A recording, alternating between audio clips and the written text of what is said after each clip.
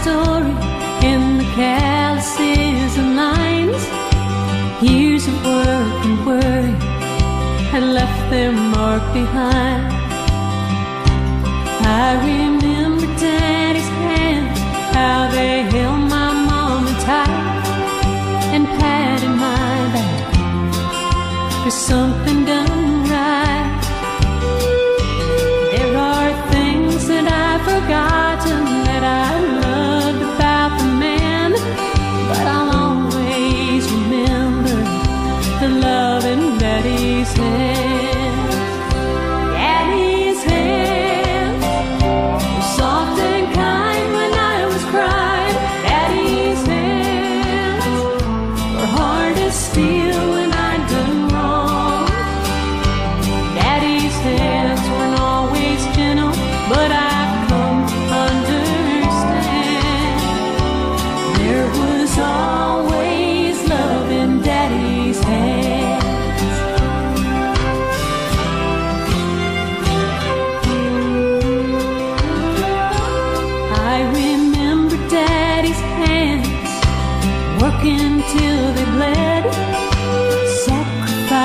unselfishly just to keep us all fed.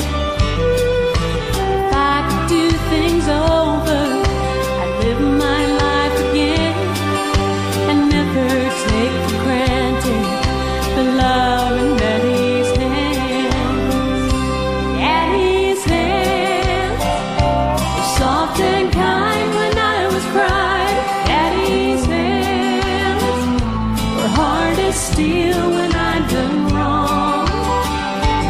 Daddy's hands weren't always gentle, but I've come to understand.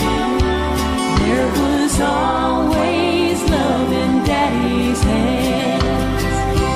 Daddy's hands were soft and kind when I was crying. Daddy